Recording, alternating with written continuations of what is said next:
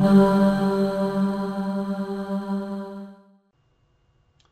and welcome to Xact ExactHacks, brought to you by Actionable Insights. My name is Seth Harrison, and today I want to talk about the Data Transfer Backup Scheduler.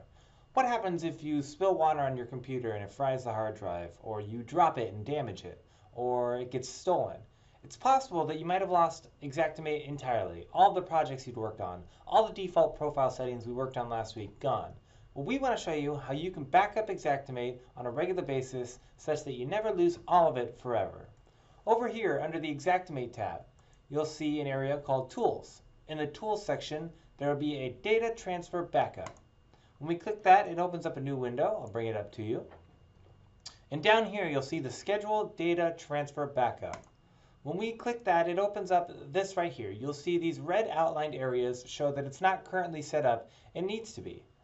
Let's say we want to set it up so that once a week, while the computer's sitting at work on the weekend at midnight on Sundays, it saves it to an area of my choice. You can choose the folder to save the backup to.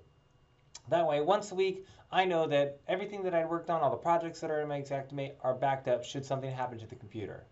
Over here, you can see the XactAnalysis connection.